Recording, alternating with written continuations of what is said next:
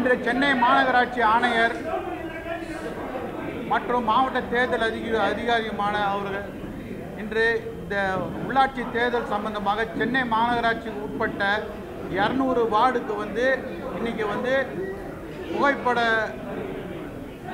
புகைப்பட ஒட்டியுள்ள அந்த வாக்காளர் அட்டையை வெளியிட்டார்கள் இன்றைக்கு வந்து. விரைவில் வந்து சுப்ரீம் கோர்ட் ஆணையப்படி ஜனவரி முப்பத்தி ஒன்றுக்குள்ளே தேர்தல் நடத்தியாகணும்னு சுப்ரீம் கோர்ட் வந்து டைரக்ஷன்ஸ் கொடுத்துருக்காங்க. அதற்கான முன்னேற்பாடுக்காக இன்றைக்கி வந்து இந்த வாக்காளர் பட்டியல் வெளியிட்டிருக்காங்க. இந்த வாக்காளர் பட்டியல் வந்து டெல்லி எலெக்ஷன் கமிஷனோட மாநில தேர்தல் ஆணையம் இருக்குது எங்க நம்ம செக்ரட்டேரியட்டில் அவங்க தான் வந்து ஜனவரி சாரி நவம்பர் ஒன்றில் வெளியிட்டாங்க. ஒரு மதர் ஓட்டர் லிஸ்ட்டு அந்த ஓட்டர் லிஸ்ட்டை பேஸ் பண்ணி தான் மாநில உள்ளாட்சி தேர்தல் ஆணையம் இருக்க. கோயம்பேட்டில் இருக்கிற அந்த ஆணையத்தின் சார்பாக இன்றைக்கி வந்து இந்த ஓட்டர் லிஸ்ட்டை வெளியிட்டிருக்காங்க.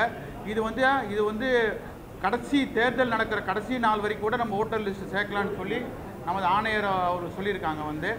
இந்த வாக்காளர் பட்டியல் வந்து அனைத்து ரெகனைஸ் பொலிட்டிக்கல் பார்ட்டிஸ் வந்து எல்லா காப்பியும் நீங்கள் கொடுத்துருவாங்க.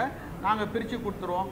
நாங்கள் வந்து விரைவில் வந்து இது தேர்தல் வரும் நாங்கள் வந்து எதிர்பார்க்குறோம். ஏன்னா எனக்கு கிடைச்ச தகவல் என்னென்ன சொல்கிறாங்கன்னா இப்போ வந்து வாக்காளர் பட்டியலை வெளியிட்டதுனால வந்து அங்கே வந்து ஆளுங்கட்சி அவங்க திமுக வந்து வெளியில் வந்து தேர்தல் தள்ளி போகுது அப்படி இப்படின்னு சொல்லி பத்திரிக்கையில் வந்து யாருமே வந்து அன்அஃபிஷியலாக வந்து ஒரு தகவலை சொல்கிறாங்க ஆனால் வந்து விரைவில் வந்து நாங்கள் என்ன சொன்னோம் கமிஷனர்கிட்ட தேர்தல் மாநில தேர்தல் ஆணையர்கிட்ட சொல்லி எங்களுக்கு வந்து ஃபிஃப்டீன் டேஸில் டுவெண்ட்டி டேஸ் கேப் கொடுக்கணும் நோட்டிஃபிகேஷன்லேருந்து நீங்கள் அனௌன்ஸ் பண்ணிட்டு ஒன் டே கேப்பில் நாமினேஷன்லாம் ஸ்டார்ட் பண்ணக்கூடாது கோரிக்கை வைத்தோம் நம்ம அதுவும்.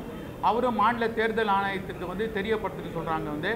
இன்னைக்கு மாலை வந்து எங்களுடைய பிஜேபியின் சார்பாக நமது பால் கனகராஜ் மற்றும் மாநில பொதுச் செயலாளர் கருநாகராஜன் மாநில துணைத் தலைவர் பிபி துரசாமி சென்னை மாவட்ட பொறுப்பாளர் நாங்களாம் தேர்தல் ஆணையத்துக்கு ஒரு வந்து ஒரு ப்ரெசன்டேஷன் கொடுக்குறோம் நாங்கள் தேர்தல் முறையாக நடத்தணும் வெளி மாநில பார்வையாளர்கள் போடணும். தேவைப்பட்டால் வந்து சிஆர்பிஎஃப் துணை இராணுவ படையும் கொடுக்கணும்னு சொல்லி ரிப்ரசன்டேஷன் கொடுக்குறோம். ஏன்னா வந்து சமீபத்தில் வந்து அறிவாலயத்தில் தமிழக முதல் முதலமைச்சர் அண்ணன் ஸ்டாலின் அவர்கள் நூறு பர்சன்ட் வந்து வெற்றி அடையணும்னு சொல்கிறார் எப்படி ஜனநாயகத்தில் வந்து ஒரு நூறு பர்சன்ட் வெற்றி அடைய முடியும்? அவரே வந்து ஒரு காவல்துறையை க கையில் வைத்து கொண்டோம். முதலமைச்சர் அவர்கள் டைரெக்டாகவே இன்ஸ்ட்ரக்ஷன் கொடுக்குறாரு. இந்த வந்து எல்லாருமே வந்து அதிகாரத்தை வந்து தவறாக வந்து பயன்படுத்தணும். அப்போ இருக்க சென்னை மாநகராட்சி ஆணையர்லாம் வந்து அவங்க கண்ட்ரோலில் இருக்காங்க. அப்போ என்ன பண்ணுவாங்க? அப்போ வந்து டைரெக்டாக ரெண்டாயிரத்தி ஆறில் பண்ண மாதிரி ஏழுலேருந்து ஒம்பதுக்குள்ளே தேர்தல் நடத்த போகிறாங்க அந்த மாதிரிலாம் தேர்தல் நடக்க நடக்க விட மாட்டோம். சென்னையை பொறுத்த மட்டும் இந்த மாதிரி வந்து தொண்ணூற்றேழு வார்டுக்கு ரீ எலெக்ஷன்ஸ் ரெண்டாயிரத்தி ஆறில் ஹைகோர்ட்டில் வாங்கினோம். நாங்களும் வந்து கோர்ட்டுக்கு செல்வோம். தேவைப்பட்டால் மாநில தேர்தல் ஆணையர் கவர்னர் தான் வந்து அப்பாயின்மெண்ட் பண்ணியிருக்காங்க அவர்கிட்டையும் நாங்கள் ரெப்ரசன்டேஷன் கொடுப்போம். எங்களை போன்ற பாரதிய ஜனதா கட்சி நாங்கள் அனைத்துக்கும் தயாராக இருக்கிறோம் வந்து. இவங்க நினைக்கிற மாதிரிலாம் வந்து தேர்தல் நடத்த விட மாட்டோம். நாங்கள் மா மாநகராட்சி ஆணையரும் காவல்துறை ஆணையரும் இந்த தேர்தலை நியாயமாக நடத்துவார்கள் என்று நாங்கள் வந்து நாங்கள் நினைக்கிறோம். வந்து இருபது நாள் கால என்ன காரணம்? அவங்க எனக்கு என்ன பண்ணுவாங்க? ஒன் டே கேப்பில் பண்ணிடுவாங்க இப்போ. இப்போ நோட்டிஃபிகேஷன் உதாரணத்துக்கு நாளைக்கு வருதுன்னு வச்சு நோட்டிஃபிகேஷனு ஒன் டே கேப்பில் நாமினேஷன் ஸ்டாப் ஸ்டார்ட் பண்ணிடுவாங்க அவங்க. அந்த மாதிரி நடத்தக்கூடாது. இப்போ டெல்லி எலெக்ஷன் கமிஷனர் நோட்டிஃபிகேஷன் கொடுத்தாங்கன்னா டெல்லி வந்து எம்பி எம்எல்ஏக்கு வந்து மினிமம் ஃபிஃப்டீன் டேஸ் டு ஒரு மாதம் டைம் கொடுப்பாங்க நம்மளுக்கு. நாமினேஷன் ஸ்டார்ட் பண்ணுறதுக்கெல்லாம் இவங்க என்ன பண்ணுவாங்க வந்து இப்போ மாநில தேர்தல் ஆணையகம் வந்து மாநில வந்து நேரு அவர்கள் அவர் கண்ட்ரோலையும் முதலமைச்சர் கண்ட்ரோலும் இருக்காங்க. எது கேட்டாலும் அரசு வந்து கலெக்டர் நேற்று தான் கலெக்டர்ஸ் மீட்டிங்ஸ்லாம் போட்டிருக்காங்க. இங்கே மாநில தேர்தல் ஆணையர் நம்ம கோயம்பேட்டில் நேற்று தான் போட்டிருக்காங்க.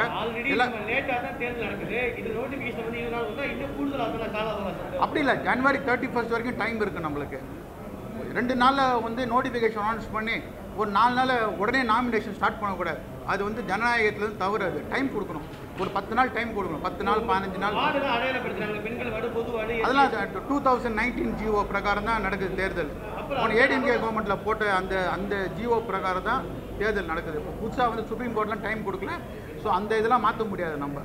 ஸோ அந்த ஜிஓ பிரகாரம் தான் இப்போ தேர்தல் நடத்துகிறாங்க நீங்க வாக்காளர் பட்டியல் வந்து தமிழக தலைமை தேர்தல் சத்யபிரதா சாகு அடிப்படையில் வெளியிடுங்கிறீங்க மாநில தேர்தல் ஆணையத்தில் அடிப்படையில் வெளியிட்டா அது என்ன தவறு அவங்க வெளியிட முடியாது. ரூல்ஸ் அப்படிங்கிற மாதிரி கிடையாது. டெல்லி எலெக்ஷன் கமிஷனோட அவங்க தான் மதர் ஓட்டர் லிஸ்ட் வெளியிடுவாங்க நவம்பரில். அதை வச்சு தான் இவங்க அந்த அதை வச்சு தான் இப்போ கார்ப்பரேஷனில் வந்து அசம்பிளி வைஸ் கொடுப்பாங்க இவங்களுக்கு. இவங்க வந்து வட்ட வாரியாக பிரித்து கொடுப்பாங்க. இவங்களுக்கு அந்த பவர் கிடையாது யாருக்கும். அந்த voter list that's call mother voter list அதை வச்சு தான் இப்போ இரநூறு வார்டுக்கு அவங்க பிரிக்கிறாங்க அவங்க. சென்னை மாநகராட்சி ஆணையர் எம்பி எம்எல்ஏக்கு வந்து பதினாறு அசம்பிளிக்கு இன்சார்ஜ். ஆனால் கார்பரேஷன் எலெக்ஷன் வரும்போது அவர் இருபத்தி ரெண்டு அசம்பிளிக்கு வந்துடுறாரு ஸோ அவரோட பொறுப்பு ஜாஸ்தியாக வந்துடுது எங்கே? கார்ப்பரேஷன் வரும்போது.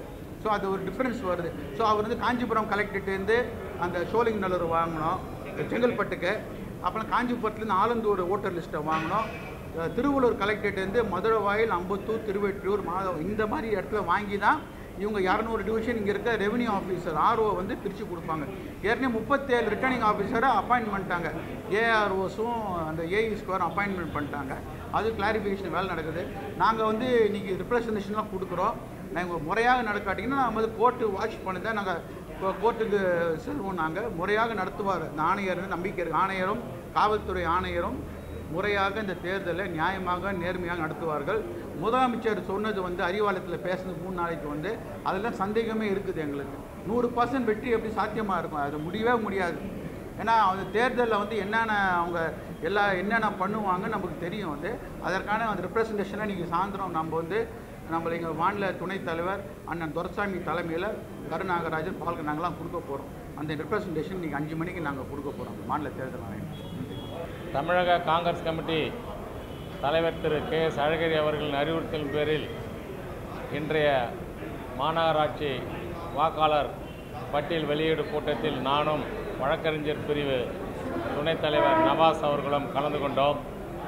இன்று சென்னை மாநகராட்சிக்கு உட்பட்ட இருநூறு வார்டுகளுக்கு உட்பட்ட வாக்காளர் பட்டியல் வெளியிடப்பட்டது.